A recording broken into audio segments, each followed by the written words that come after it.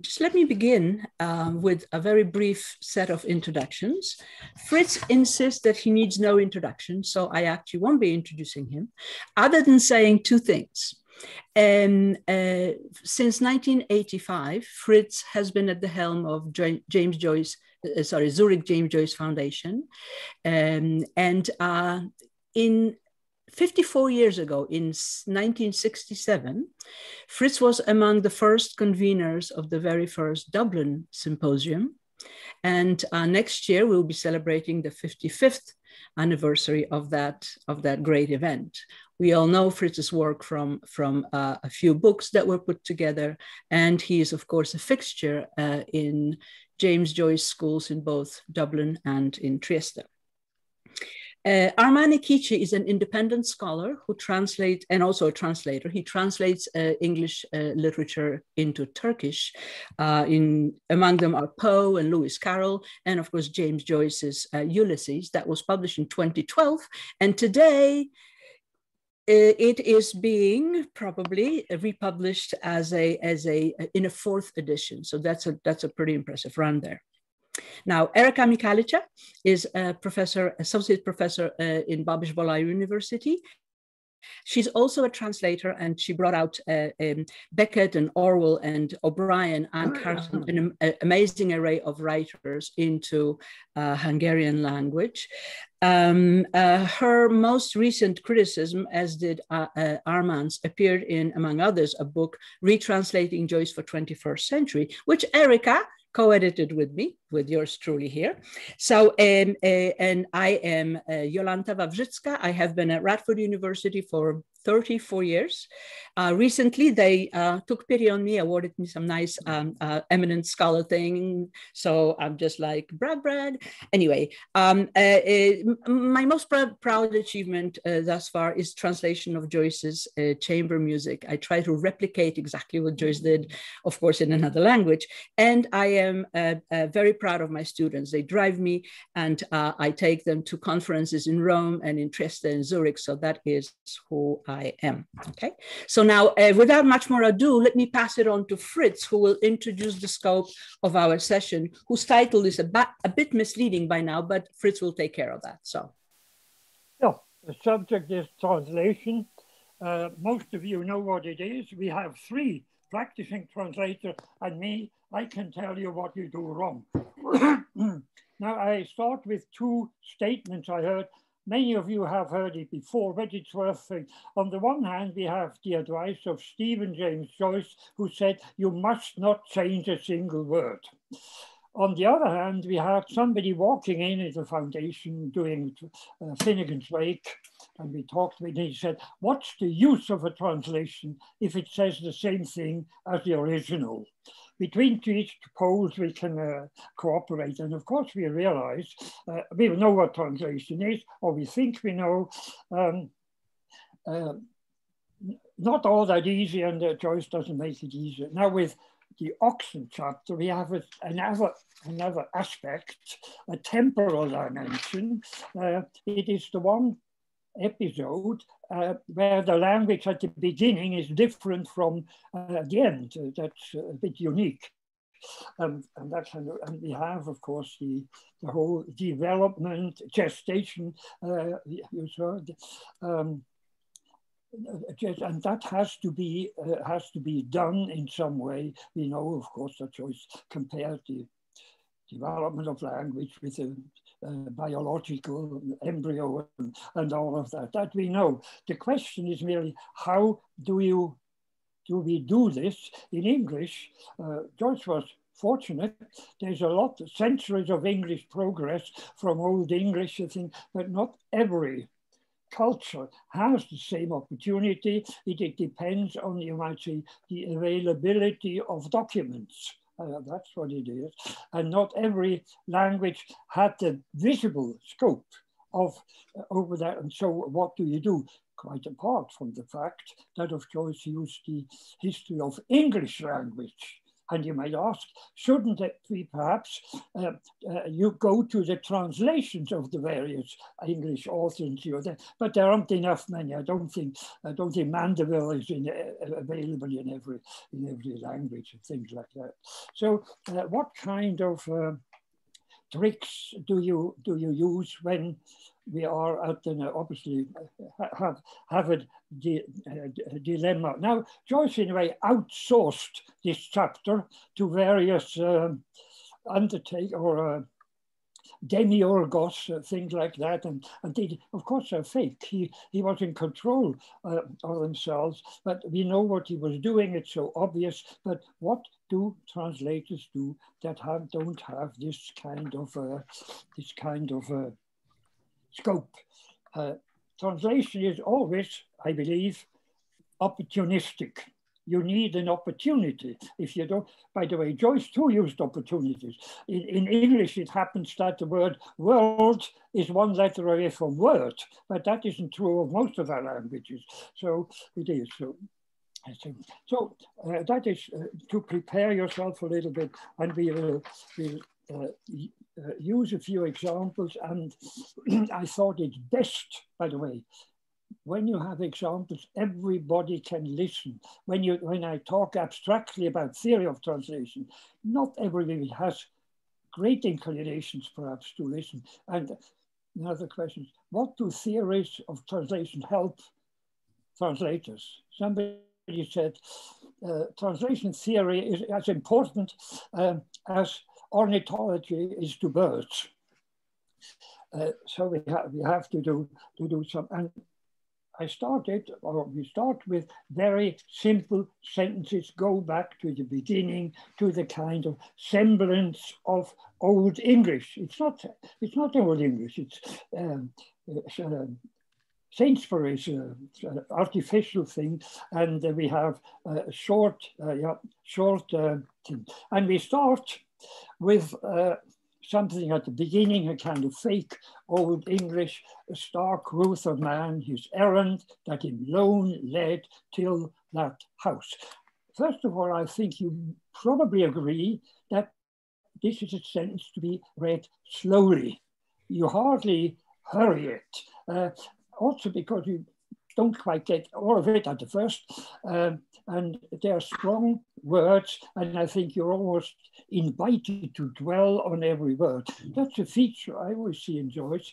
When a, a phrase or a word comes into our attention, when you hear it or when you read it, it achieves its full glory and, and, and the whole value of it.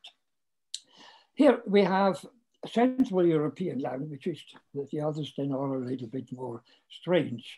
Uh, I, I, come to this, you have a first uh, German one, and everybody knows German, will have no difficulty following it. Die was Mitleid mit Menschen vor Grund, der den Einsamen nach diesem Haus trieb. The second one is quite different, and I will treat it separately. And you can see, even if you're familiar with German, you may have words. All the words I uh, underlined are not, you don't find them. Uh, Mittebarmen and things. I'll come to that.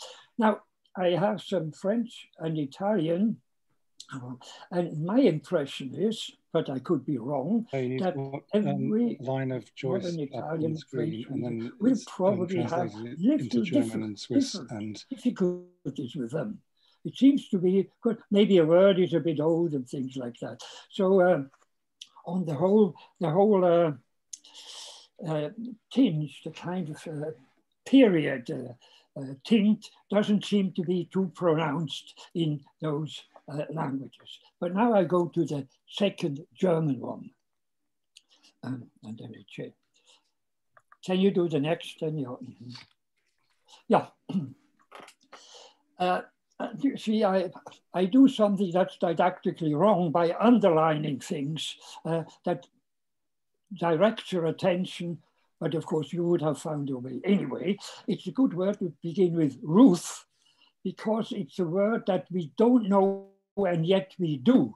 Uh, we know ruthless, ruth, uh, pity, uh, compassion, things like that. So it's a word that does no longer exist, but some of the relatives are around, so we could easily uh, guess that.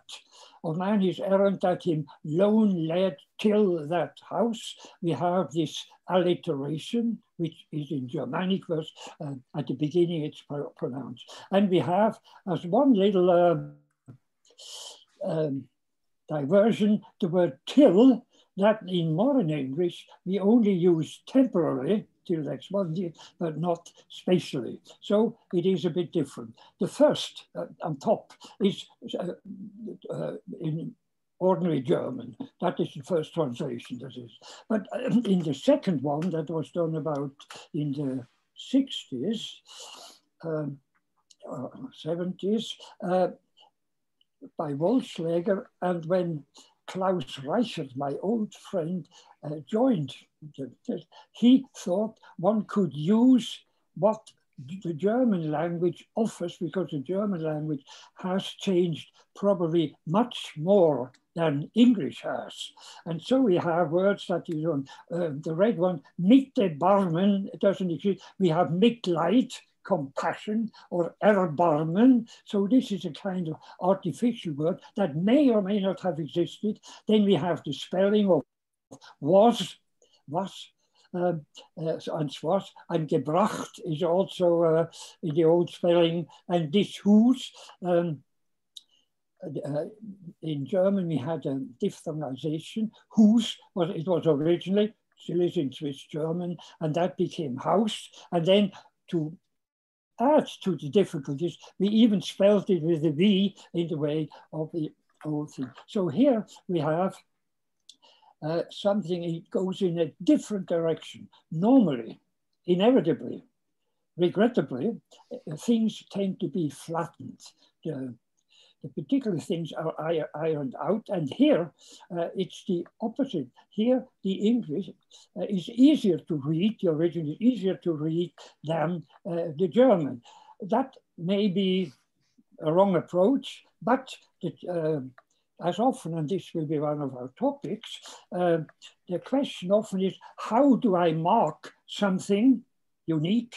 Either I do not mark it at all, or I mark it slightly different, but at least the difference can be seen. So that is now the um, extraordinary thing that for once the translation reads much more, uh, more difficult. And if you're not, uh, uh, if you're not very good in German, I know a little bit, you may you will really have uh, uh, trouble with it, quite apart from the spelling that was made. So we have it alienated, and not domesticated to a degree that is quite unusual. So I think it's good as a counterexample.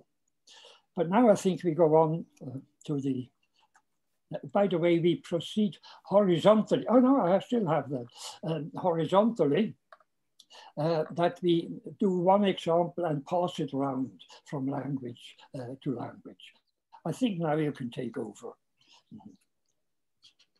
All right, so, so still the same thing. Okay, thank you. Yes, so uh, so you will see on alliterations. Uh, yeah, you will see on top. Course, um, cultures, traditions do not use alliteration at all, but here it's a clear thing for Anglo-Saxon or Old German. Well, so uh, thank you. So I have. Okay, um, so you can see that this oh, is. You go to your language now. Okay, thank you. Um, so you can see that um, my translation uh, from Polish is my own text that I am discussing here today. And but it, uh, it's not on yet. It is. Oh, I don't see it. Oh, oh yeah, okay. Thank you. Okay, okay, thank you. So yeah, let me start over. Okay, so um, indeed, uh, what Fritz mentioned uh, earlier when he was talking about his, uh, uh his slide, uh, Polish is rather impoverished in terms of what we can do at, uh, imitating Joyce's, the development of Joyce's uh, of styles in, in, in mm. Polish. We have no robust uh, uh, uh medieval uh, literature at all. So one has to somehow fake the style. Um, alliteration in my language is well, and, and, and it's, it's quite healthy, so you can do that. Um, I need to look at vocabulary changes. So I will use uh, more antiquated vocabulary when I can, but I have to also make sure that it is understood and recognizable for, to the audience. And I can play along with the syntax a little bit. Um, I am very tuned to sound, and uh, uh that was actually, that came from translating uh, uh, chamber music, where I, I really elaborated on how sound uh, drives the, the meaning. Fritz's a note about stark ruth of man, his errand, that him lone led till that house, is well uh, taken. You need to read it slowly. So let me now show you how I, uh, uh, uh in those, uh, how I rendered this sentence in Polish. So click maybe yes so you'll see what i try to do here czysta litość bliźniemu posłaniem mu była, co przywiodła go samego w owy dom. It does not quite read like English, obviously because it's Polish, but it, it, I'm trying to render sort of a mellifluous flow of this, of this sentence. And there are two things that I would like to uh, uh, point out, uh, well, three things. First, you will see in green that I'm trying to uh, uh, uh, preserve some of the sibilanty, shimmery kind of sound, but also the low li, wa, we, those are fluid uh, uh, uh, and, and, similar to English sound.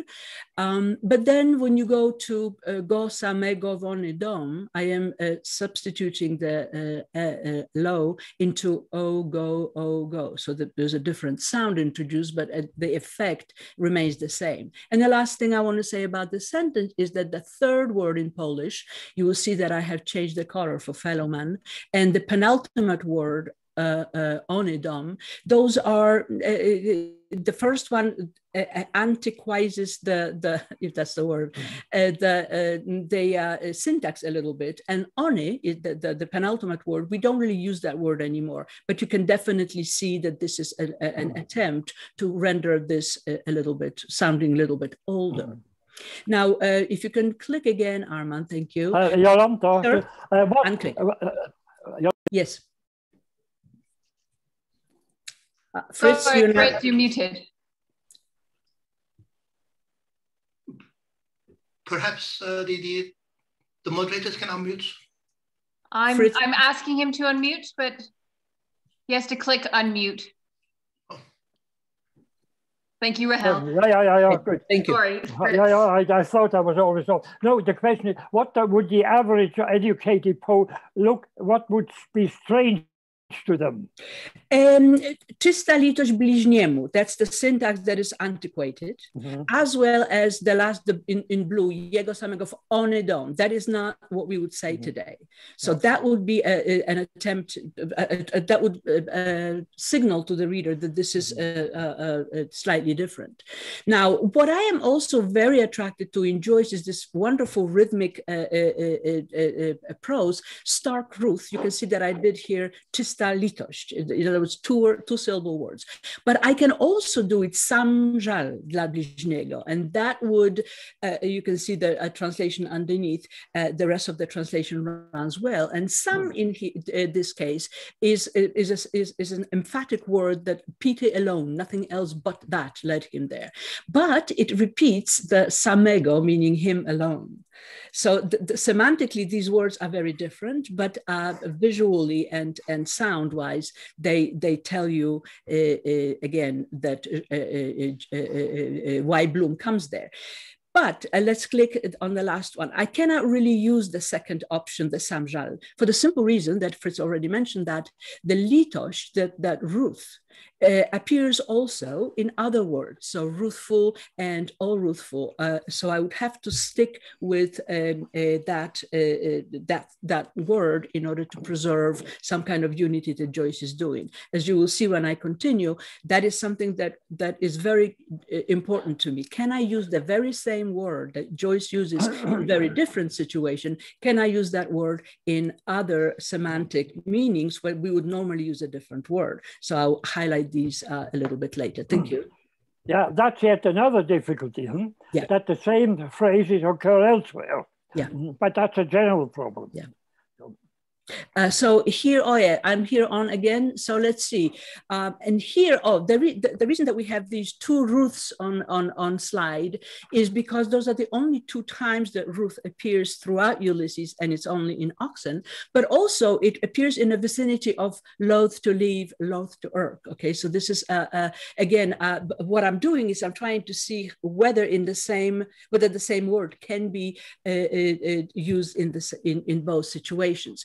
So uh, the loth to irk, uh, irk is here uh, rendered. Okay, you can go on. Go on. Yes yes. So uh, it, it, it's, a sort of different kind of green, but uh, it, it, it, would be green, right? Now, the problem in my, in this sentence is that the gorgeous four uh, time uh, uh, alliteration it, cannot be sustained in my language, but I'm doing two and two in different, with different letters, as you can see. So you can highlight that again. So hat holding, dłoni dzierżąc, so we've got the same letters uh, at least here. And the seeker stood and as Wędrowiec Frau has to be moved into the middle of the sentence for the simple syntactical reasons. There is a way where I could put it at the end, but it would be very, very clumsy. So, so I'm keeping it uh, the way it is. Now, if the reader reads this, they will be already taken off a little bit by wholu, horna, a wędrowiec uh, trwał kapelusz w dłoni.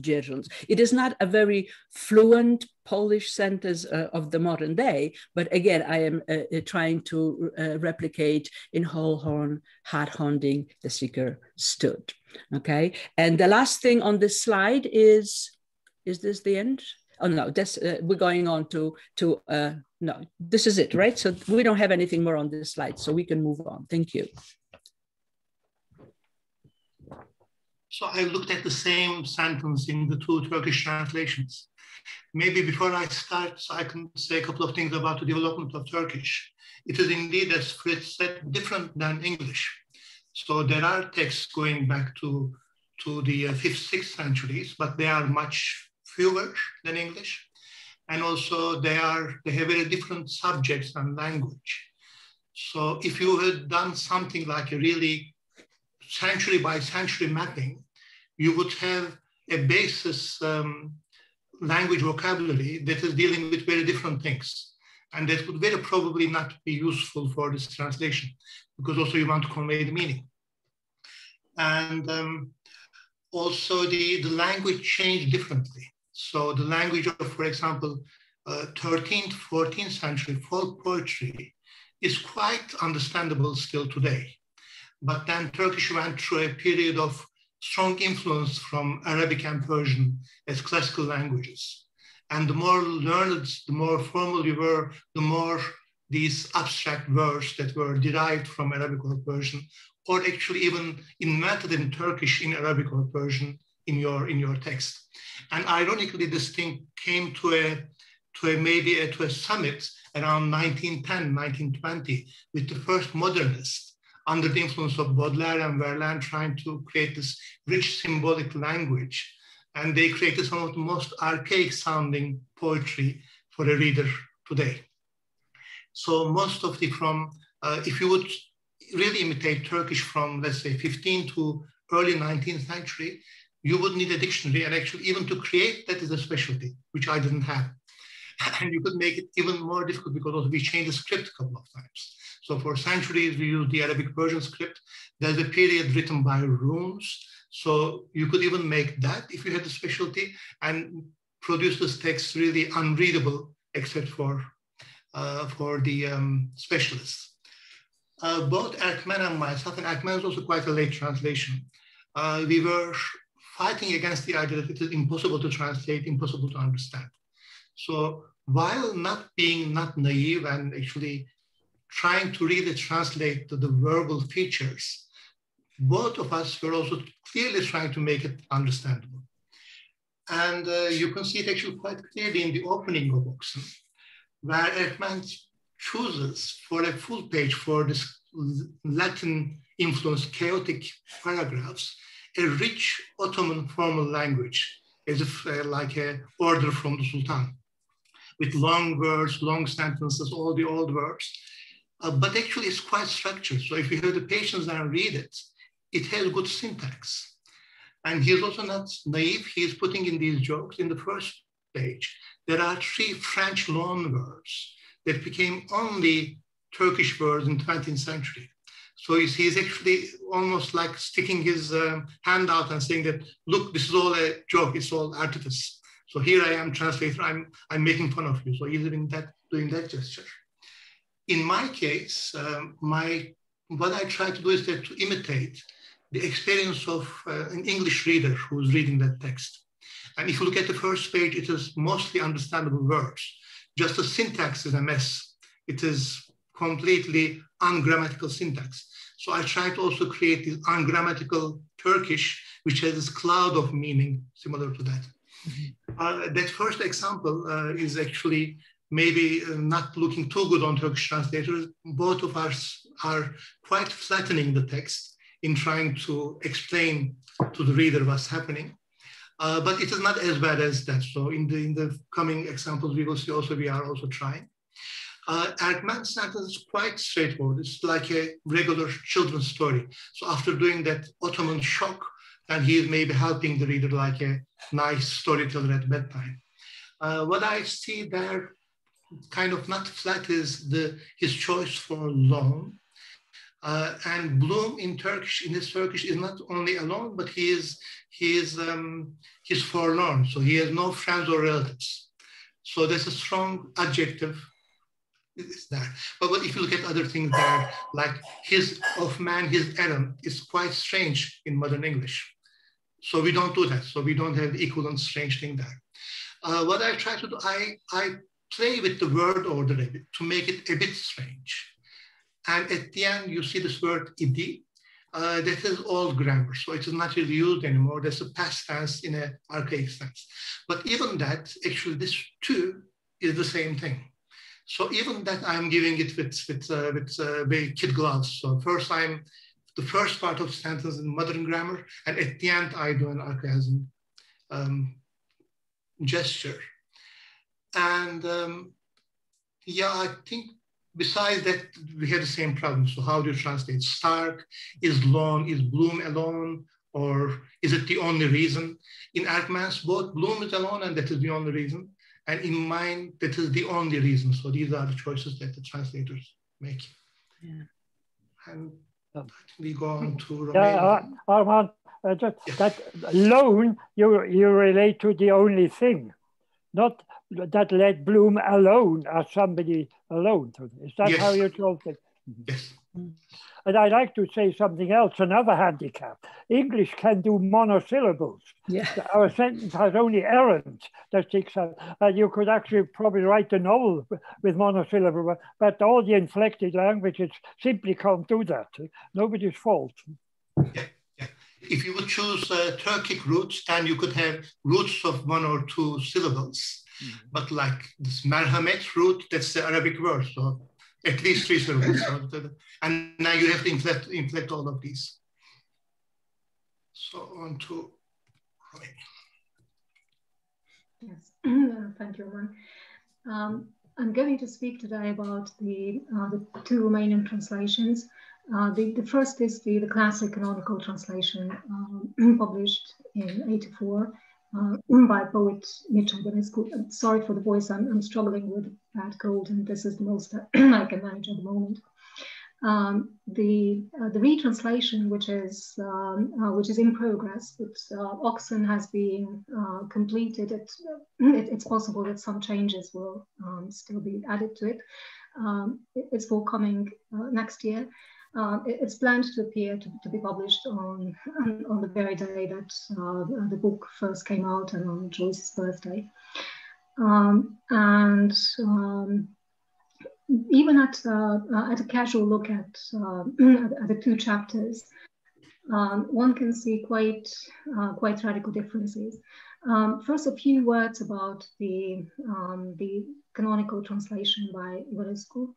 Um, when it came out, it, uh, it was an absolute event. It, it's quite a spectacular translation. It's um, um, first of all, it's uh, it's a thorough cultural translation, transdictation. Perhaps one one might call it a travesty. Um, what it does is um, uh, is actually uh, take um, a shortcoming or something that uh, that could have been viewed as a, as a drawback. Uh, the, the fact that Romanian literacy has um, goes back about uh, 500 years. The, the first extant documented in the language dates from the from the second half of the, um, the 16th century. So um, the um, uh, the way uh, compensates it to, um, to, to render the, the effect of constant linguistic change, a variety um, of um, um, uh, lending, um, adding distinction to uh, um, and uh, distinctiveness to, to every um, single passage is um, by a combination of techniques. Uh, first of all, he, he resorts to, um, to, to thorough cultural translation of absolutely everything from, from realia to, um, to culturally specific titles, concepts. Um, and uh, this he couples with, um, with a systemic uh, foreign language substitution.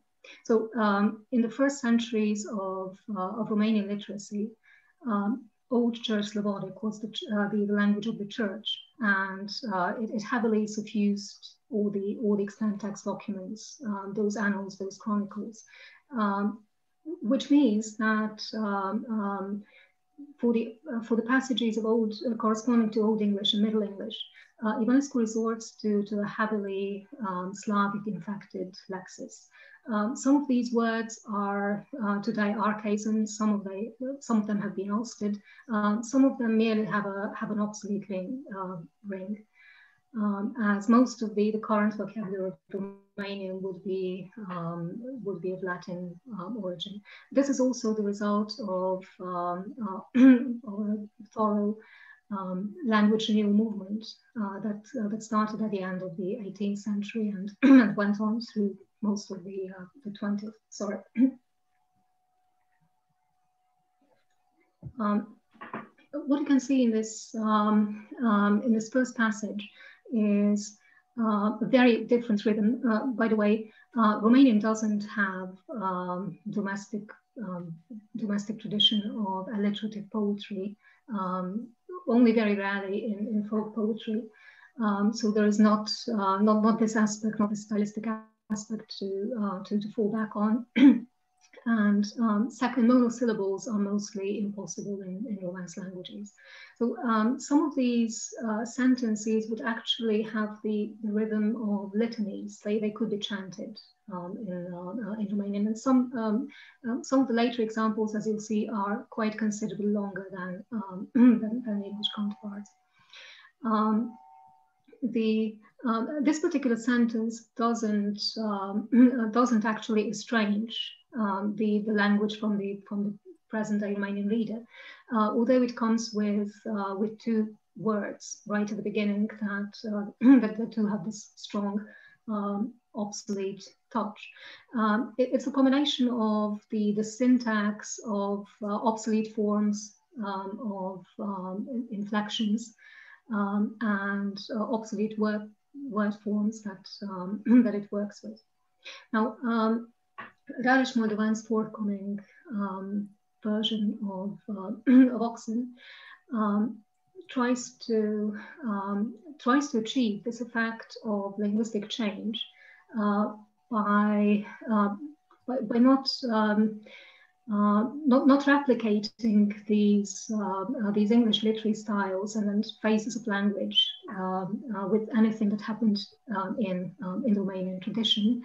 Um, he, he doesn't, uh, doesn't work with Slavic vocabulary only um, or very occasionally. Um, what, he does what he does instead is work quite a lot with internal translations.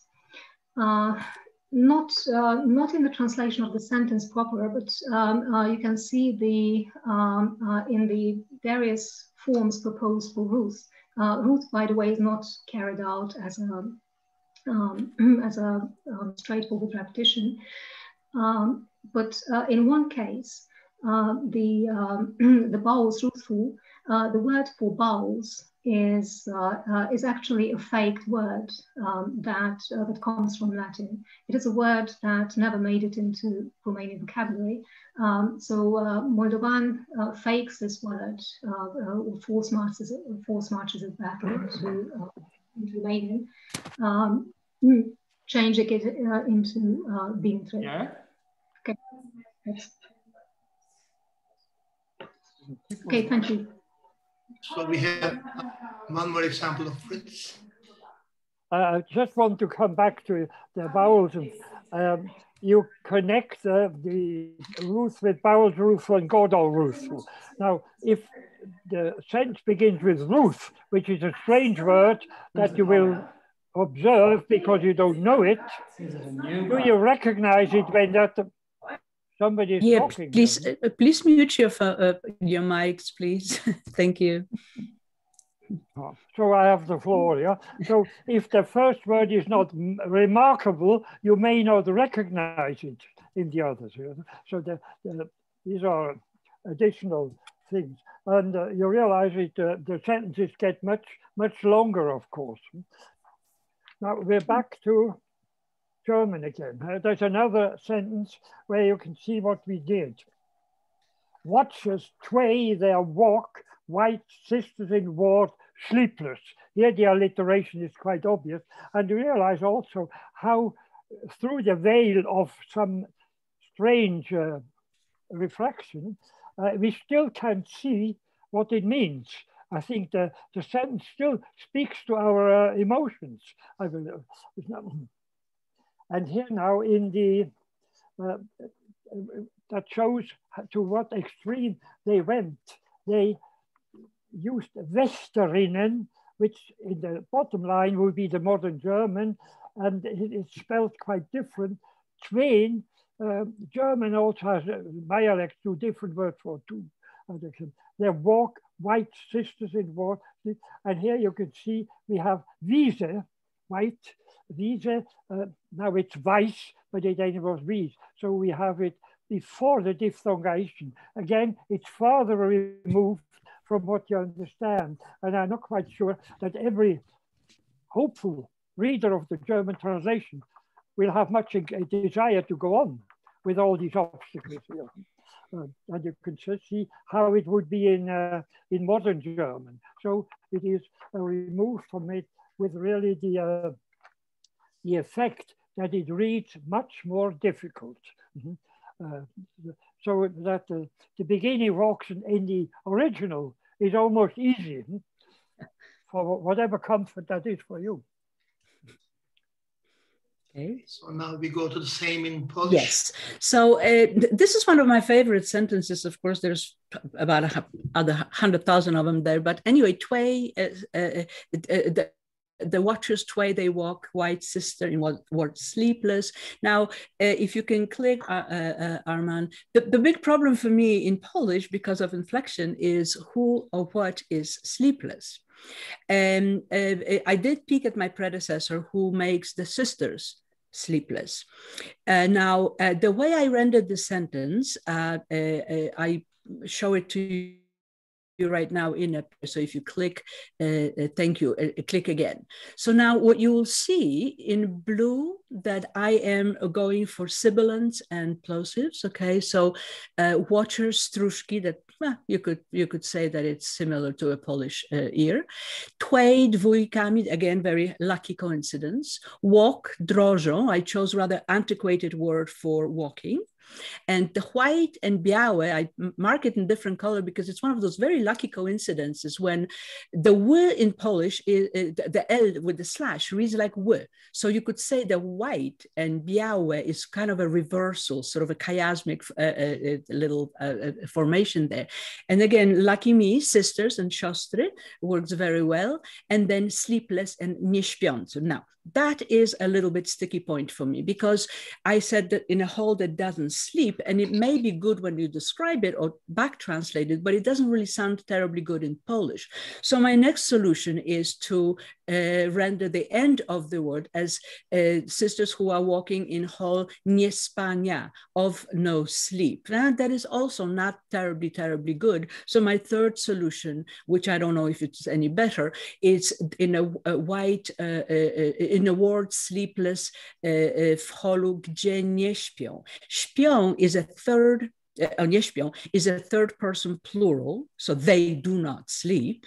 And now when you hearken back to the original, it would, it could qualify sisters that do not sleep, but also words that do not sleep, considering that we have, you know, all these birthing women in the word who are uh, uh, and therefore words sleepless. Don't know if it's a good solution. Don't know if anybody will ever split hair like that, like myself. But those are just to show you that I'm quite concerned with keeping the rhythm of Joyce's sentence, keeping some kind of resonance of, of, of, of uh, uh similar uh uh, uh, uh, sounds, and also keeping some kind of near rhythm. So if you look watchers tway they walk, white sister inward sleepless, the bottom is białe siostry w holu nieśpiącym. You can see that I'm going both for the sound and for the rhythm, and of course for the meaning, which is which is the harder part. Now, the second part of that sentence, uh, uh, sleepless, uh, uh sorry, smarts day uh, still and sickness uh, soothing. Um, to Polish person, the, the, the, sibilants are not terribly soothing. So in, in my books, it belies a little bit the semantic message of what the sisters are doing. And lucky me again, in Polish, I could say bóle koją dłości łagodzą. You can hear the mellifluous sound of the, of, in the predominance of vowel formations. And to me, that is much more soothing. So I, uh, and fortunately, it is also semantically uh, uh, relevant to, to, to what, to what the sentence is doing. So uh, enough of that for me. Thank you. Next slide. I'm looking at the same, same sentence in the two Turkish translations. Um, again, Erkmen is kind of flattening here, so there are just two regular sentences without any, any alteration. Um, not even the word order, so it is just a flat sentence. Here I'm trying to alterate. And then uh, when we found ourselves in this situation. And in Turkish, we don't often have uh, words of that are cognates to the English. We have some, but not very often. So we don't have sister. Uh, so you, you, you, you end up choosing one word and trying to see what words alterates with that. So then, so I this is my solution. So I'm alterating with the with the uh, sound call. So you see kolcu kollar koğuşta and I, I alternate with the, with the syllable ak, aklar, bakıcılar. So to do that, then actually I'm, I'm doing what, what Stephen Joyce didn't want us to do. I'm changing the words. Uh, for example, for sister, I use bakıcı, but in Turkish, you would use for a female nurse, hemşire, which is the Arabic word for sister. So bakıcı would mean something else, would mean either a male nurse, orderly, or, or, or could, could be even the doorkeeper. So, so, then I expect people to understand because I want to illustrate with ak, the, the old word for white, and current to the basic word for white. And then, uh, so indeed, so this is um, this is what we do as translators, as we try to imitate what the text is doing. Sometimes we change the words. And I think we go back to German. Yeah, it's another a similar sentence beginning, also very alliterative, and also realize how through all this foreign, we can see Bloom a, a, little bit embarrassed with his hat uh, in his hand. Uh, that's another thing. It, it has a direct, I believe, impact on us, even if it's strange. Loath to Erkenhorn Hall hat holding the seat stood. And then again, we have uh, uh, something that in German wouldn't be easy. It's easy for our audience, of course, because they're all very intellectual and sophisticated. But to stören geneigt nicht, so the alliteration is in the word.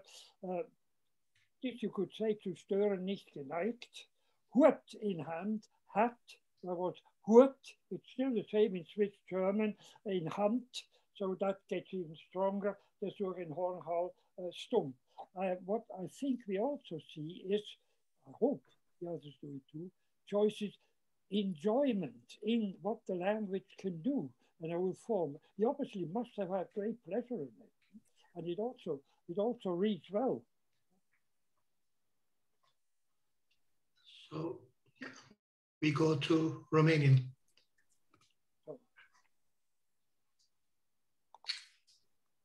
Thank you, Omar. Um, to, um, uh, to, to, this sentence, um, actually, what um, uh, what I said in the introduction uh, applies perhaps even better than um, the, the introductory ex uh, example. Um, you can also see the, um, the quite excessive length to which uh, Ivănescu's sentence goes. Uh, it's, uh, uh, it's a slow moving, um, the, the, the, whole rhythm is, is quite different and it, it would actually be possible to, to chant it like a sort of litany. Um, the um, uh, the alliteration is uh, is carried out systematically with um, we have syllabic alliteration. Uh, we we also have um, um, alliteration on consonant um, consonantal clusters, um, both in um, front positions and and positions in, in, positions inside the the words. what um, what's also visible is that um, uh, in these repeated structures, um, lost to leave, lost to work. um, the, uh, what is repeated is merely the, uh, the grammatical structure. Um, none, uh, none of the rhythm, none of the, um, none of the assonance is carried from, from the one phrase to, to, to, the other. Um, once retranslation um, changes the, uh, the picture quite, uh, quite radically. Um, first of all, uh, this sentence perhaps comes as close as uh, comes as close as possible to um, to the uh, double thudding rhythm of um, of the original. Um, you can see that the uh, the phrases are kept short. this is this comes from a combination of of tense um, and obviously of, uh, word choice. Um, it's a particular felicitous um, choice that um, in the middle of this uh, of this sentence, um, phrase was found, which uh, which accidentally comes with a threefold alliteration, this dor de ducă, that uh, that would translate as uh, wanderlust, as uh, um, an appetite lost to um, to to travel. Um, and, and, the last touch, um, in the last phrase, potrivnik să plece, um, even, um, even phonetically, um, uh, there is a um, there is a sensation of, uh, of a cluster of an impediment in potrivnik, which is then um, dissolved in, in this um, um, plosive liquid cluster in our, our chain. Okay, thank you. We go back to the, the oh. German text again. Yeah. Uh, first of all, uh, I thought the Ro uh, Romanian is a Latinized Romance language, and I thought I could guess my way through it, but I can't. Uh, you have to do something about it, Erika. Uh, it's not fair. Uh, the German is a bit more advanced uh, in the Middle Ages, and I just show it to see that if you know German, I mean, if you've learned, you would probably be lost and would have to read it very slowly. Uh, the spelling is different, that kind of thing, Niederkunft and things like that. And so you would almost have to translate every every word. Now, of course, oxen is a translation anyway, because Joyce translates his modern English back in reverse into pseudo-historical uh, things, uh, making artifacts. And I say here, it is uh, when you come to Lenihan, that comes much later. Uh, you, in English, you can follow, but in German, you cannot. It might have the effect, I don't quite know, that people give up and, and skim it, which is of course not what we want. But um, as I say, here we go over from the, the, uh, the, the other way and we use the slow development of spelling in German. don't have to read it, of course. The Chinese. and now uh, to to throw in another language uh, for folks we have a Chinese student here in the foundation, and I gave it to her, and she has in the second line, she has, I'm not going to pronounce it, what it is, and she gives me a, a translation out of compassion. He traveled alone and traveled a long distance to this maternity hospital. Maybe with the travel and travel, there's something childish and simple in it. And she had uh, the good sense, I asked her, of course, to say, what would the Chinese reader think of it? And she quite bravely said in the brown, that is an expression that will go back to a certain age. And in the second thing, there's also something. That's the kind of thing we would like to know. And obviously, now Chinese, of course, has a long tradition, and they could, they can, they can do many things. By the way, uh, in order to do this, when you have these really out of the, from uh, my Eurocentric point of view here, out of the way languages, the thing, the best thing would be ask somebody native, educated, who doesn't know the original. The Chinese student did it, but on the whole, it doesn't work because people freeze up. They think it's an intelligence test. And when you say Joyce, so you don't get what would be very simple. It's the, the thing that the fact that they do an experiment spoils the experiment, unless you have very clever people around you. Good. So we go back to oh. Polish. Yeah, that that Chinese example is very good, Fritz. I I, I deal with that a little bit in, with Russian Cyrillic transpositions. That again, what would you guess uh, uh, from from seeing that? Um, so at any rate, we are at the sentence that I again love very much. Woman's would wonder pondering. And um, uh, it, it, I find this sentence for some reason very funny. But anyway, uh, uh, you will see, uh, of course, rhythm uh, you'll see alliteration and that in, inner uh, wonder, ponder, that is a great, a great thing there. Now in Polish, I will read it to you to see whether you can hear what I'm trying to do here. Uh, Wniewia znój z uznaniem wnikając. See, so I'm, I'm, I'm beating this rhythm there, but the pondering has to have three syllables in Polish, unfortunately. And the pondering per se doesn't really exist. It, it's a, a matter of transitive and transitive verbs, but he's looking into his thoughts about that woman's womb. Now, uh, the reason that I, and there's a sort of a chiasmic for, uh, formation if you look at the W and W in the beginning of, uh, and the last, in beginning of last sentence, and then znój zuznanim in, uh, in the middle. So you've got this kind of a chiasmic formation, at least uh, uh, giving a reader a sense, hopefully, that there is something going on in the original. Now, um, if you click, Armağan, thank you. Um, the reason that I am, again, looking at this sentence sentence because there are two more examples of woman's woe or woman's uh, woe. So my whole point right now is leave everything behind and stick only with these three phrases to make sure or to find out whether I can indeed render them in the same manner. Um, and, and of course, implicitly, what I'm doing is I'm sort of commenting on the fact that there's a certain sense of amnesia in some of the translations. They have been there, done, did, but forgot that the same phrase uh, phrases kept, keep repeating themselves. So I am kind of sort of tuned to that. So uh, these two uh, examples, I have rendered them.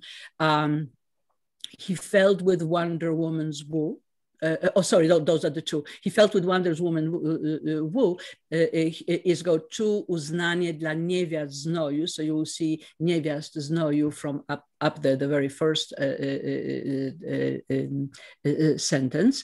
And the second one from Woman's Wood is when, when Mulligan, come, Mulligan comes into the hospital. So the second one is translated as from Woman's Wood, z powodu, because of the niewiasty znoju. And I can actually re, reverse these words if I wish, but um, um, again, my, Joyce didn't. So I'm trying to see if my language will actually bear that. Now, I'd like to add one more comment uh, that uh, that Erika brought up that uh, I find very interesting. I never thought of these Polish renditions as somewhat like lit, sounding like litany, but actually now that you that you that you talked about that, that aspect of uh, Rarish's translation, I can see how these sentences could uh, I could convince I could convince myself that they sound like a little bit like like litany. Yes, go ahead. Sorry. Uh, sorry, sorry, I wanted to, to interrupt. The uh, uh, that that was about the first translator, um, the Ivănescu. No, oh, okay. Oh, it was Ivănescu. Oh, I see. Ah, okay. So he, so he's modernizing it much more than yeah. Okay, okay, okay, okay. There's another little question. like Okay. Fritz, okay, sorry. No, there's another little Joycean tuck with wonder. Pondering, in pondering is pondered a weight, and pregnant women are heavy. And, and the pond, yeah, so that's that too. Let's see if my, no, mine, mine takes it into the brain, you see. So the pondering, oh, shoot, it won't work. I'll have to change it because it takes it into the brain rather than into the womb. Oh. You know, okay. one great handicap is everybody can bring up another aspect yeah. and you can't deal with them all. And another thing is, your readers, all your readers, will not pay the same attention that we do now. but I think in your case, somebody, something will stick and they will vaguely remember we've had this before with that, with that. Uh, hmm. Yeah, this sentence took me about like three days. So now I have to take it back to the drawing board to see whether I can bring it from brain down. But the brain births too, no, right? Yeah. Mm-hmm. Anyway, we'll see. okay. And, and, and, it's great training huh? for the language. Yeah. Yeah, yeah, yeah, yeah, yeah. yeah. Thank you. Looking at the same sentence in Turkish, what we've done with it. Uh, here, um, with the wonder ponder, Erkmen didn't do anything, but he illustrated the, the woman's who with this check each other. There's a standard uh, illustration phrase in Turkish of suffering, of a bit religious or like the, the, the paying for your um, wrongs kind of suffering. Uh, but, but the word for ponder is the regular thinking, so no heaviness or no introspection there. And also I'm also using the same word, just um, thinking, but I'm trying to illustrate strong in a stronger way. Then I'm using the word woman, kadın, and I'm asking what I can do with, with that ka. So then you can think of the, uh, not the woo, but the, the lot, the fate of woman. So again, I'm changing a word. And kara kara is, kara is black, kara kara becomes adverb blackly, so gloomily. So then pondering gloomily about the lot of women. And also you can say the end of the word is also part of the illustrating group. Like a chiasmus, so yeah. Yeah, so I'm, I'm kind of happy with it, but also Stephen will say, look, you've changed the words. So that's the, the same, same dilemma there. And I, I've picked up another nicely alterating phrase, two sentences. Let the do with faith and fervor worship with will will we withstand but stay. So Joyce is really having fun with the word will here, also linking to the Shakespeare episode. And again, Erkmen is illustrating. So here is the, the grammar is helping us because things like faith, fervor, they usually have a historical Arabic and currently used um, equivalent. And they have a certain grammatical feature that they tend to start with I. So ihtiras ve imanla he did. And then for this, also he's not blind. He starts from we, this, and then illustrates with B. And I do it similarly. So again, I have the similar alteration for faith and fervor. And then I'm really having fun with the with this sentence. So almost everything biz bilakis bile bile biteviye biatsızız. So every word is be now. But then to do that, then I'm changing almost every word. So if you tra- translate them back, bilakis says, on the contrary, bile bile is knowingly, biteviye is continuously, and biatsız is a, is a made up word. Everybody understands it, but biat is submission, still used very commonly in Turkish, but it used to be somebody accepting the new sultan and um, showing fealty to, to them. But biatsız you don't use, but you understand what it is. So it's also the same exchange thing. And when I look at it, I saw something else that is kind of interesting for translation choices. The word lute. It used to mean, uh, in, the, in the originally, it used to mean common people, laity. So it didn't have the current meaning of, of uh, sexually explicit, of course. It used to be just regular people who are unlearned. And there's a quite standard trope of religious rhetoric that certain things are for the common people, the, the, the surface meaning, but if you are learned, then you will know the, the underlying meaning and you do things. So I saw a bit of that sort of trope there. And again, if we are looking at historical English, historically, lute was something else. So Erkmen translates lewd as lecherous, but I go for laity. So in my translation, you don't see the feeling of this uh, coarse sexual language at all, but you see let the common people worship, but we will do it differently. So these are also choices and you, you end up choosing one or the other. So this is also that the trans act of translation underlines certain meanings, but also completely washes over other meanings. And from here, we go back to Romanian.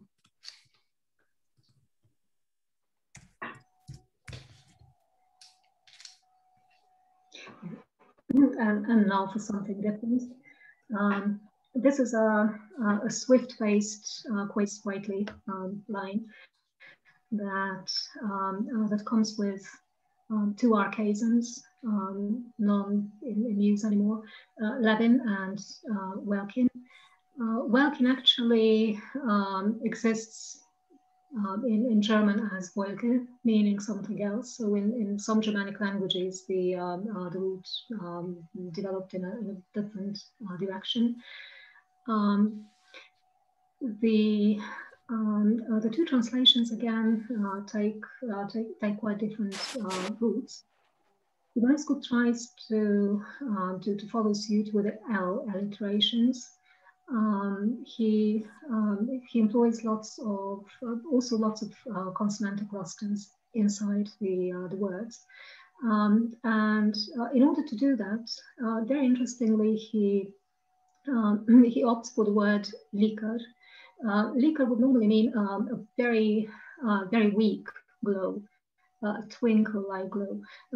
It, um, uh, it, it, also gives the name to the glowworm, uh, Um, so you can um, you can uh, uh, imagine that kind of uh, that kind of light rather than the, the flash of lightning. Um, so there is a, an interesting, but also there is this this kind of defamiliarizing effect in in the sentence. Uh, when you when you look at this this uh, uh, big twinkle um, that, that, that shakes the firmament.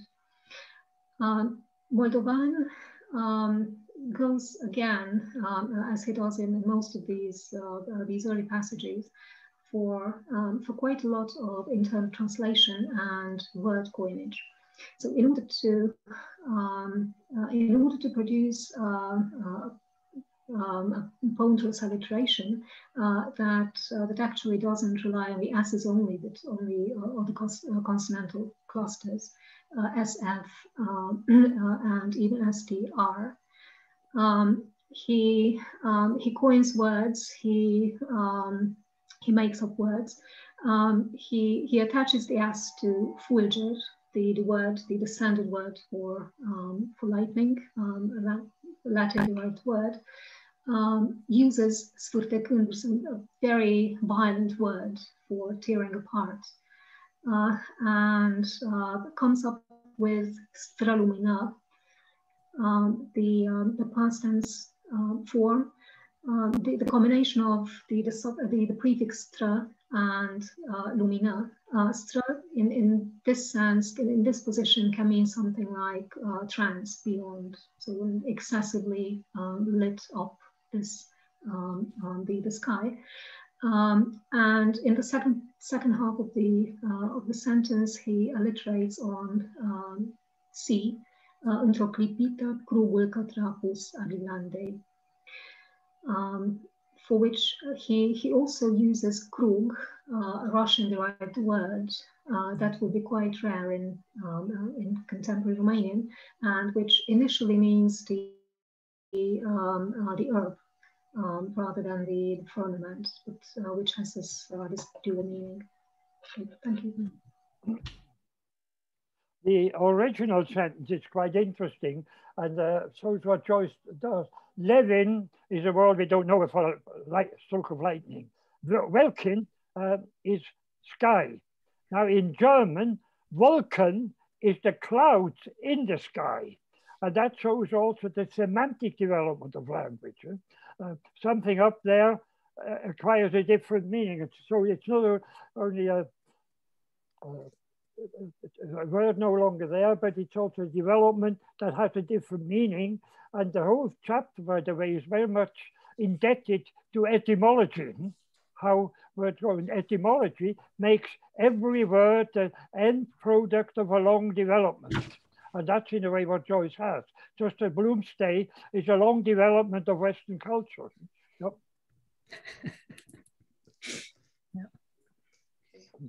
Then after the alterations, um, I compared the two Turkish translations for this workshop.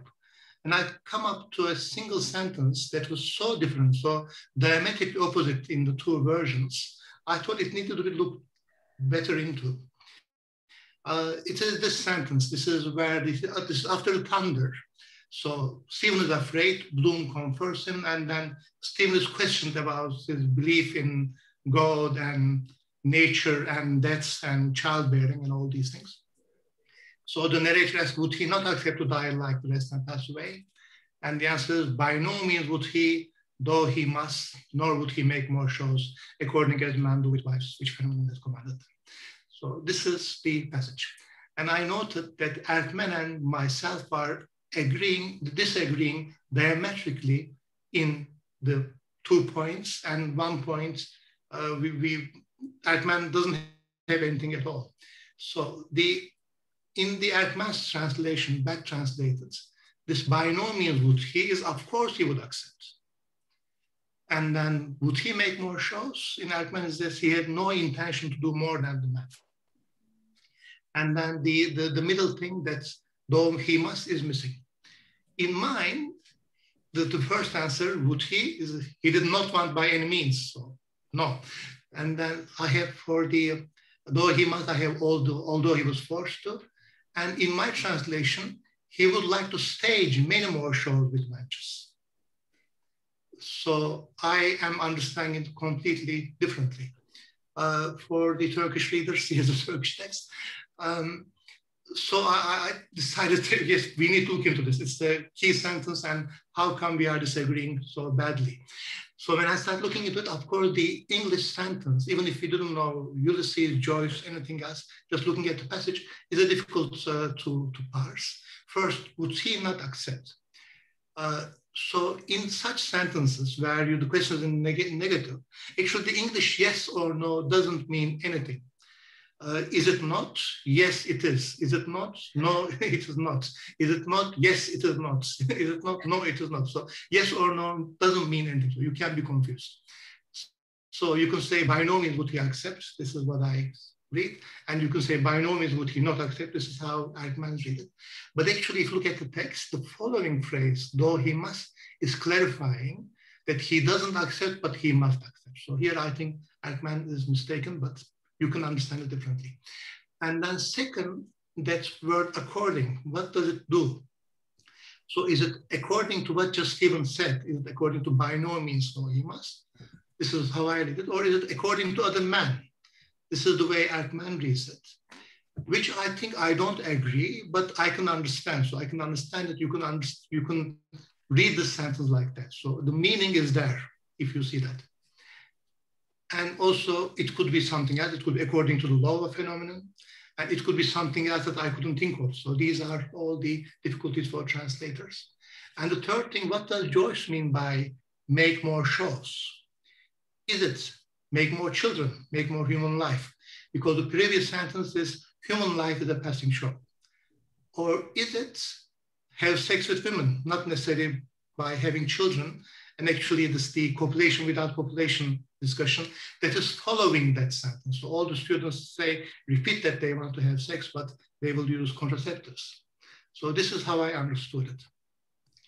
And one, one would probably see what Bunyan does with the word chose. You know? Maybe you find it there. Yeah, I should look I, at I, it. Yeah. yeah. but I mean, imagine the, the time you spend going to sources to find nothing. Yeah. and of course, you often have these collocations when you don't quite know which parts of the sentence belong together. That's part of it. So the text is different. And um, the, the, the, text is difficult, but also to make it so the translator can understand the text differently, but also the text itself has not been stable. So it was for the 62 years, the, the Ulysses publication, it was like this. It was by no means would he and make more shows. So it was a clear yes. And that to me at that time, when I did translation, sounded much more like Stephen, because Stephen in the previous uh, chapters, uh, he's looking for the, the, uh, the Anne Hathaway to come and seduce him and all those. And we know Joyce was a family man. So I would expect Joyce or Stephen to be um, somebody who would make more shows. So this is why I probably I was blind to that nor. So I clearly made a mistake. And that's a nice also, I think, um, moral tale for translators. It is when you are confused, you will look it up. When you don't understand, you will look it up. But when you are sure of your meaning, that you are so much empathized to the to the character that I think that Stephen thinks like this, you can do such mistakes and don't check it later on. So I, I didn't see that nor, but maybe also I was using the um, the um, the Jeri, Johnson text, which is a facsimile of the 1922 with the changes at the back. So I penciled the change in, but I was looking at that and also. So maybe that also led me astray. So it, it, it got changed into what we have. And what happened is that though he must was inserted, clarifying the first part, and and was replaced by nor. So this is the text we have today. So also the text itself has been changing. And my conclusion is that Joyce wrote it, we know, then it got changed before it got published, it became and. And most of the authorities, most of the translations go for nor, even if there is some disagreement even today. But you see that the text itself can be ambiguous. The text itself can be flipping meanings after 60 years. So these are some of the choices that we as translators force ourselves, see ourselves forced to make. And from here, I go back to more examples.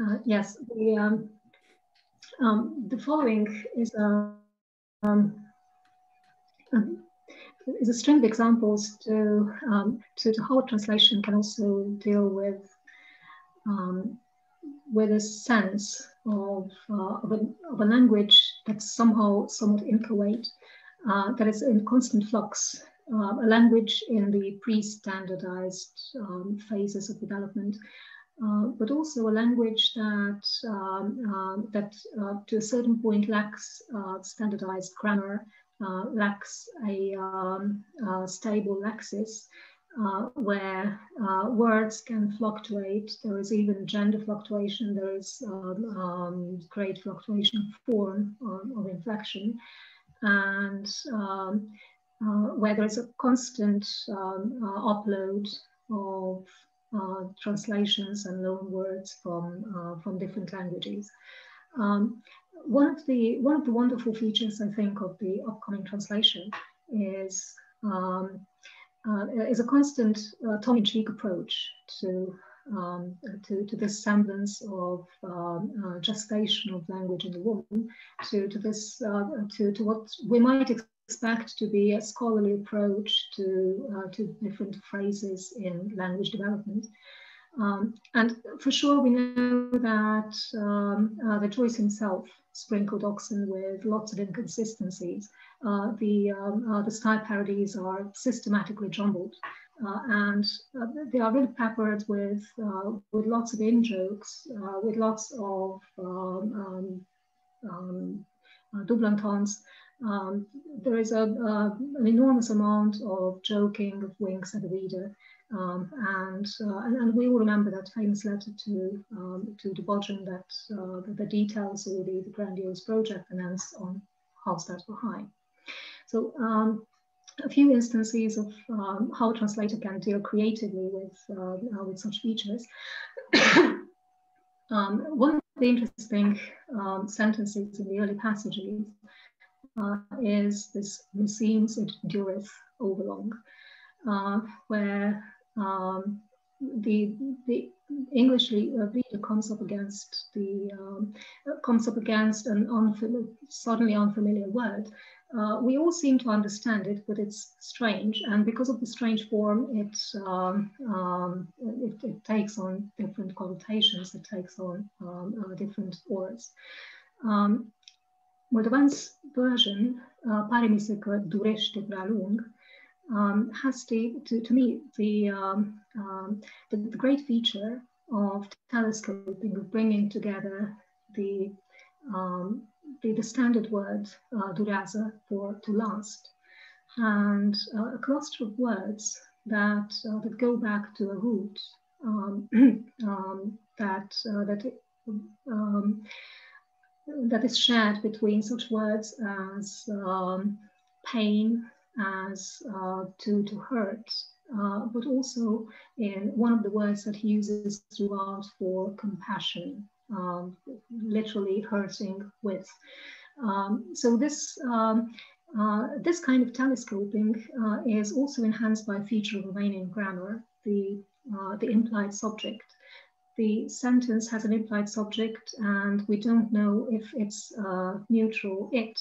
Um, it could be uh, it seems to me that it, that is the, the birth, the, um, the, the, labor, uh, so belong. But it could also be that it's she, the, uh, the, the, woman, Mrs. Uh, uh, Mrs. Purefoy, who uh, hurts overlong. Uh, the second uh, the second example is, uh, uh, again, a famous instance, the anastomosis of navel. Uh, one of the key passages in the, uh, uh, in the Oxen about um, um, filiation, about um, origins and, and, generation. And um, here Moldovan fashions a great portmanteau, anastomoatele buricului. It, it can read as a um, as a heavy-handed uh, attempt at, um, uh, at carrying across this Greek word into, um, in, into some kind of period Romanian, some kind of faked archaic Romanian. Uh, but it, uh, it just happens to, to chime in with mațele, uh, that is the vowels. And mațele is, a, uh, is again, an, uh, is, is quite an earthly word. Um, so the, th this combination of um, uh, or pretentious um, foreign term with uh, with this very earthly um, um, word for the for the viscera, for the entrails, um, and and locating the whole thing in the navel um, rather than um, rather than alluding to the umbilical cords is, is, is one more such feature of, uh, of internal defamiliarization. Uh, and the last one in this series is his rendition of, uh, of Agenbuyer, uh, something that, uh, that, that, reverberates through the text. So it's the uh, Agenbite of Inwit. Um, and uh, this, of course, alludes to, um, to, to, different phases of translating um, usually Latin concepts uh, into languages which didn't yet have them. Uh, and these translations were most of the time um, word for word and, uh, and literal. Um, Iarăși cumpărătorul um, rings uh, like both one of these translations and, uh, and a smart um, portmanteau. Uh, Yara, Yarosh means again. Uh, Ras cumpărătorul is the combination of, of a prefix, ras again, and um, or backward, and um, um, cumpăra to, to buy. It's also the, the standard word for um, to redeem, the, the redeemer.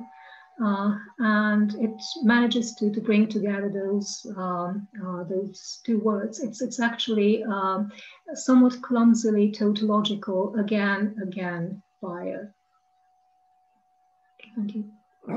Uh, Agenbuyer is, by the way, a, uh, fits well because the Christian had a lot of new concepts uh, from Greek, Latin, and they had they translated that. And Redeemer was translated as Agenbuyer, just as Agenbite, uh, remorse of conscience. And that is a word that did not survive. It is a kind of, a, it fell by the way, wayside, it, um, a kind of Darwinian dead end. And, uh, and by the way, Stephen treasures these words, and Joyce too, probably. Thank you very much. Uh, it, it looks like we have about 10 minutes left for questions. It looks like we've finished. Are we, Erika? Or did I just interrupt you? Yes, okay. Um, um, uh, there, there, there, there may be people who want to ask something of us, so please feel free to do that. Uh, uh, you know, we can talk about lucky solutions that we run into, things that we simply cannot translate. But of course, there are translators in the audience, and it would be great to hear uh, their, their commentary. Now, I am not very good at manning the, the chat room, so I think I will ask Bor Armağan and, uh, and Casey to, to, to help me with this and just feel free to direct the questions to people. I'm just I'm just don't have that kind of mind. Um, all right. We, we just get some praise from a fellow Romanian uh, who is uh, uh praises the Moldovan translation. Yeah. Okay, that's good. Great. Uh, I, I think Dirk has his hand up. Okay. Oh yeah. Okay. Thank you. Thank you very, very much for this wonderful panel. I have a comment rather than a question. Fritz has pointed out absolutely correctly that in the German translation, Oxen of the Sun is tricky, intricate, can be frustrating. It's a hell of a lot to read. But on the Bloomsday Centennial in 2004, I was on a panel with uh, Wollschläger and he gave a reading of it. Within a few minutes, the audience was basically falling off their chairs laughing. It was the first time I did not have to explain to the audience that James Joyce can be fun because it was absolutely hilarious when it was read out loud. So the reading, the visual is the problem far more than the audible. When we hear it, it is perfectly understandable, even if unusual, and it is absolutely funny. That's also true of the original. These dense passages, when they're read well, you try to understand it and follow them, and they can be fun even. Yeah. Yeah, also this where I had the most fun, some of the most fun passages in Turkish as most, indeed. There's something in the remarks that uh, Nevzat Erkmen, the first translator, he passed away from COVID uh, last year, I think around last May. So indeed, we need to commemorate him. That's yeah he's one of the people that I know that's that's succumbed to, to disease.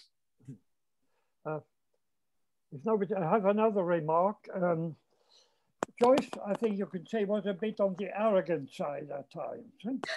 uh, and uh, since he was very ambitious, challenging Dante and Goethe and Homer and all of that, Shakespeare, uh, he must have felt, must is a kind of my speculation, that uh, if you want to say something new, you can't say anything new and you can no longer write like Swift or somebody like that.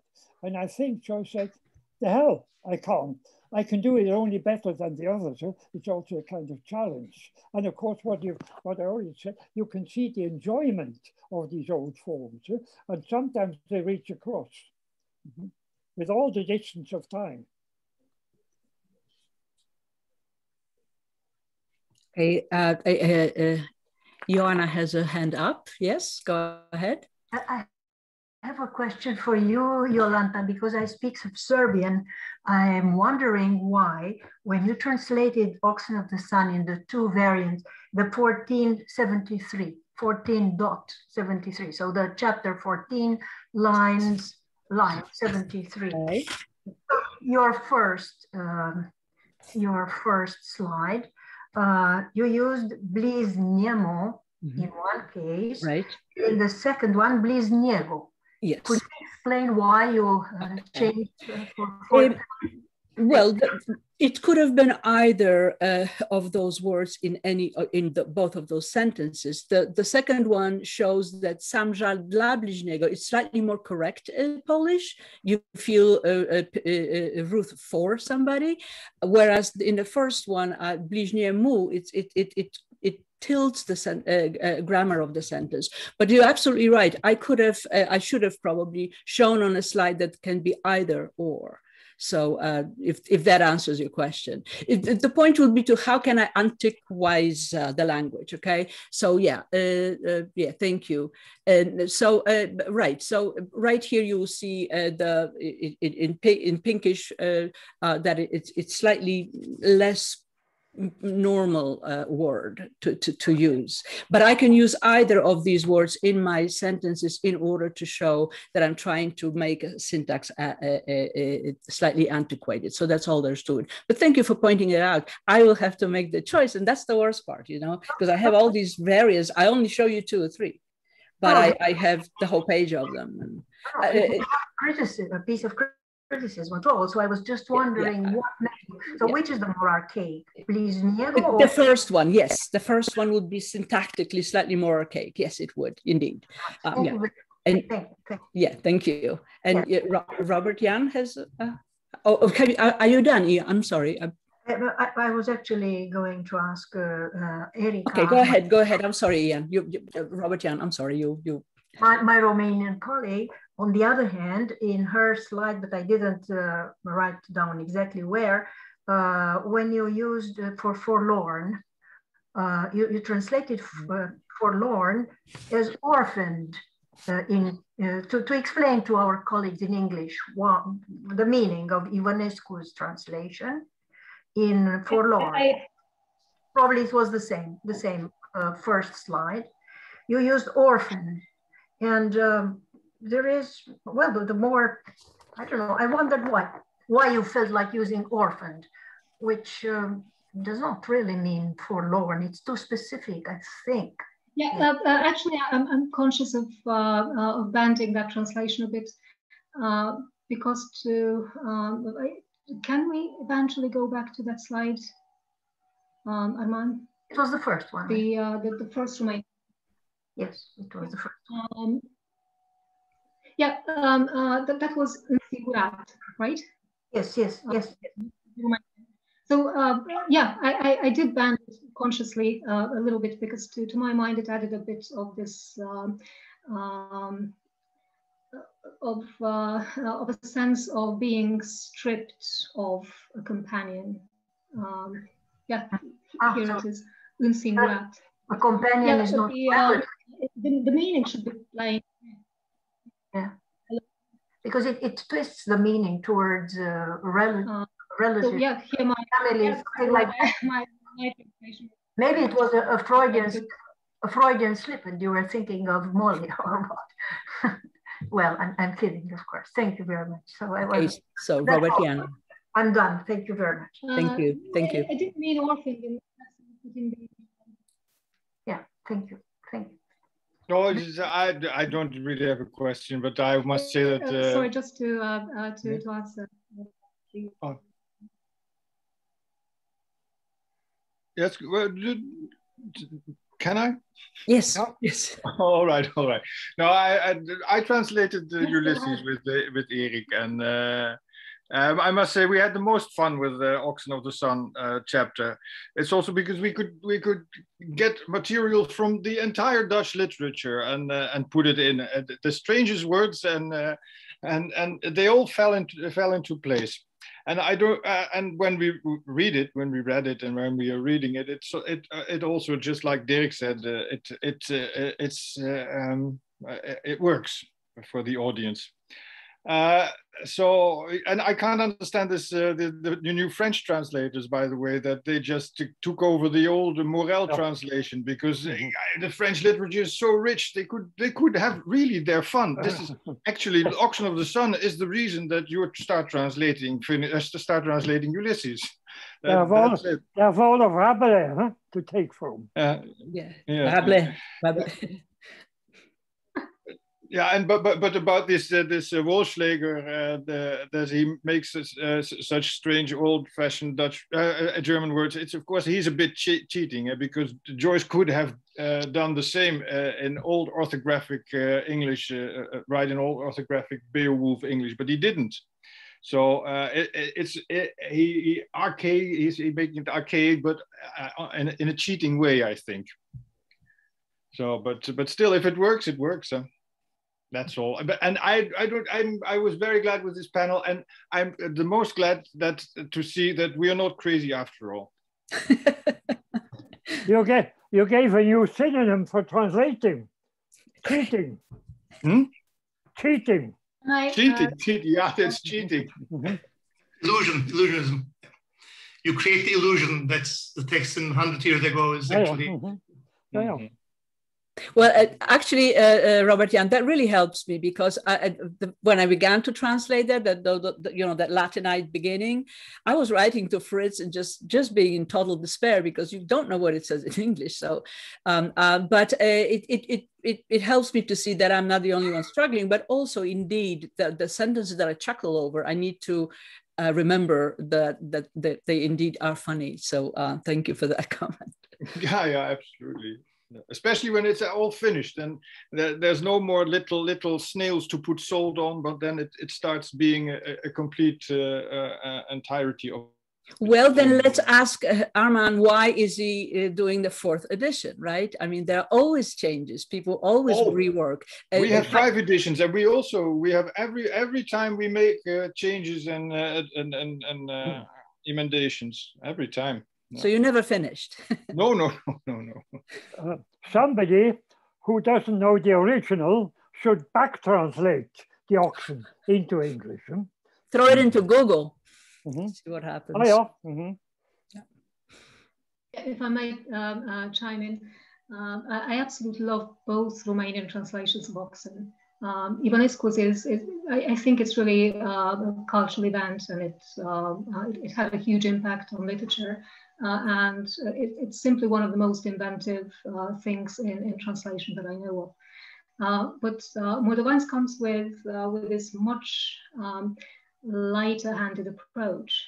Uh, it, it's really sprinkled with, um, with all the, all the in-jokes from the beginning, all the double entendres, all the, um, I, am sorry in a sense, uh, in, in, a way that I couldn't get to, um, uh, to, to the next example, which would be a, would have been a, a wonderful cacophony strategically used.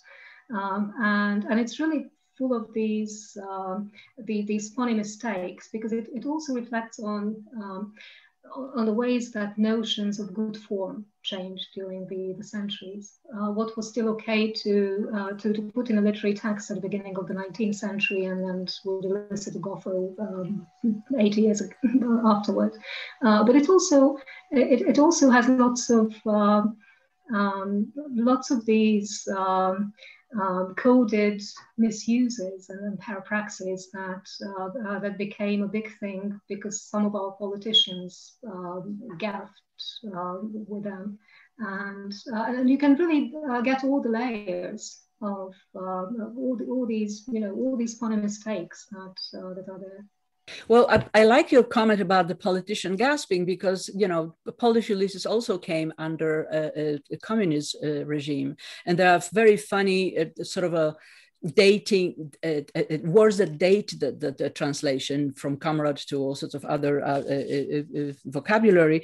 But um, um, it, it, aired on the side of vulgar when he didn't have to, when he could be just funny, he was going vulgar and so so it, I, have spoke about that before but there are certain things that i also am, am, am, am pondering things like impossibilities and for some reason Słomczyński translated mother church uh, as a matka church uh. Now, the problem with these two words, one is feminine and one is masculine. So you cannot have a kościół that is feminine. You know, it just simply does not live in our language. So was he you know, commenting on on uh, on the clandestine church in Poland at that time or not. But uh, that is one of the things I cannot resolve. Yeah, but I don't know how to resolve that. I don't know really how to say Mother Church uh, in in in. in... No, he he's just ahead of the Vatican. yeah, maybe. yeah, way miles. But those of you in languages where you have the gender, I mean, what what what did you translators do? I mean, we have Robert Jan. Do you remember um, how you dealt with it?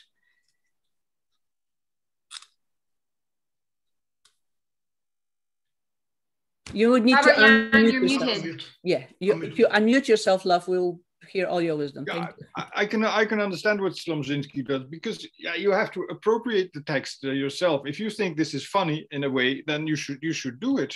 Oh, okay. Uh, and uh, erring on the vulgar vulgar side, it sounds not very bad oh. to me either. Yeah, yeah. Thank you. yeah, when you say he vulgarized it or made it uh, uh, um, obscene, uh, most translations do the other the other thing. Often, yeah. from state reasons, they have to uh, to yeah. them. So that's again a kind of compensation. But culturally, he was so well known in Poland that they would have allowed him to, to, to do that the way they would not allow a, a, a sort of an unknown unknown person. So yeah. so he could yeah, get away with it. An, an invisible translator who translates just what, what is what is said is impossible. You have to uh, right. put your stamp on it. Yeah, you have to have a vision, and and and the stronger the vision is, the stronger the uh, the, the translation will work out. Yeah, thank you. Um, if I may chime in with the uh, with the gender bending, uh, that that's one of the great features of uh, both Romanian translations, uh, because for for a relatively long time, um, from the from the late 18th century through at least the first half of the of the 19th, um, there was this uh, this language renewal movement that uh, that uploaded many many um, Latin and uh, French words into the into the vocabulary, but um, uh, sometimes they were quite volatile. So they they would change gender, they would change form, and there's really a, a great and, and, fantastically exuberant play on, on some of these words. Mm. Um, they uh, they are made even more pretentious, even more um, you know, even more comic, um, uh, even more comically um, pretentiously used than uh, uh, that they would normally have been in, um, in those texts which leave the translator's mind. Uh, and sometimes they are really strategically um, employed in, in situations where, you know, that the, the standard word is, uh, let's say, masculine, uh, and it's used in a, uh, in a feminine context and it's gendered feminine. And that, that can be really great fun. To, I can't, can't give examples of the cough, but I think there is a question coming. Let's see, we have, uh, yeah, we have a hand up, so you need to unmute yourself, love. Okay. Uh, hello. Hello. Uh, Wednesday, everybody. Thank you. Um, and I wanted to ask uh, Armağan Bey a question as a Turkish speaker myself. Um, um, uh, I wonder if you, uh, were there any uh, aspects of the Turkish language uh, that you that helped you while translating the Oxen, uh, or maybe transformed your trans translation as a whole. Uh, any aspect of you know Turkish language, um, maybe somehow complicated things a little bit, but also you know added some kind some kind of a you know um, a valuable aspect to your translation of the Oxen. Thank you. So the, this Turkish language reform uh, managed to really change the language in the 1960s. So most of the literature from 1960s onwards is readable for most of us, except for the some of the radical uh, purifiers that they invented lots of words. So many of them got caught on, some of them did not. So the ones that did not catch on look very strange. But actually, there are lots of hundreds, maybe thousands of words that they invented or revived, and we just understand now. So the, the, the more you go back from the 1950s, you have all these layers of archaism. So Tanpınar is this big writer of the 50s, is difficult to follow for most modern readers They in the dictionary for some words. So you can you can create these layers of um, archaism. So that helps. And uh, of course, yeah, you, you look at uh, you look at words that sound like other words that will help the, the some of the play Joyce's making, at least not literally, but with other words, you can repeat similar tricks. So that helped a lot. And yeah, sometimes you happen to translate a sentence correctly, and that sounds very much like something else in Turkish, which would fit Bloom's mind completely. So if Bloom were Turkish, he would make the same joke. So those kind of happy coincidences happen. All right. Um, um, I am getting signals from people who record the session that we are way over time, which I swear I haven't noticed. So, and, I would like to uh, give Fritz last word and then just one minute if you have something to say, Fritz. And then I would like to thank everybody for joining our session and, and providing such a good listening ear. Fritz, would you like to say something at the last word? What makes you think I have something to say? Um, uh, but uh, I think we also offered a crash course in Turkish, Romanian, and uh, and Polish. So yeah. people should be grateful. Yeah, thank they you. Should be. Thank you very much, you guys. Thank you very, very much. Thank you. Thank you. Thank you very much.